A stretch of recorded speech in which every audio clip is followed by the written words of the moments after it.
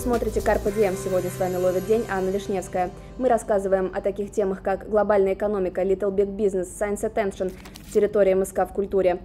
Оказывается, цифровизация становится основной причиной исчезновения некоторых профессий. Об этом заявил премьер-министр Дмитрий Медведев на Московском финансовом форуме. Уже принятая правительством программа «Цифровая экономика» оценивается примерно в 100 миллиардов рублей. Среди основных причин, препятствующих переходу к цифровой экономике, аналитики называют дефицит кадров для работы с искусственным интеллектом, а также старение населения. Государственный долг США впервые в истории перешагнул отметку в 20 триллионов долларов. Об этом сообщает газета Washington Examiner. Это произошло после того, как американский лидер Дональд Трамп подписал закон о временном повышении порога государственного долга страны, который разрешил неограниченные федеральные займы. Трамп пошел на данный шаг на условии, что американские парламентарии одновременно примут пакет федеральной финансовой помощи пострадавшим от урагана Харви.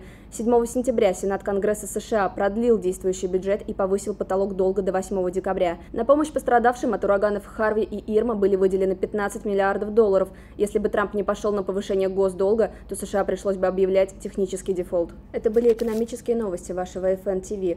Carpe Diem, то, что мы поймали для вас сегодня. Подписывайтесь на наш канал и ставьте лайки.